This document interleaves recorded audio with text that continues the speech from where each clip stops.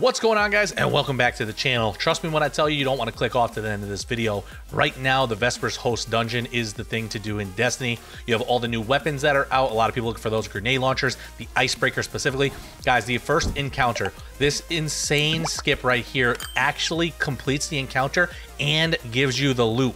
It is so easy to do. If you're trying to farm the full dungeon, this will save you a lot of time. And if you're just trying to run the first encounter, you should do this before it is patched because it will give you the drops. This is super fast, super easy. It is unbelievably quick. I will show you exactly how to do it. All you gotta do is follow the path that I'm going down. And by the way, if you guys need help with this dungeon, I will be doing help runs on this, on Garden, getting the new weapons, Divinity. I always play with the viewers. Link in the description. Come by my Twitch. We'd love to have you over there.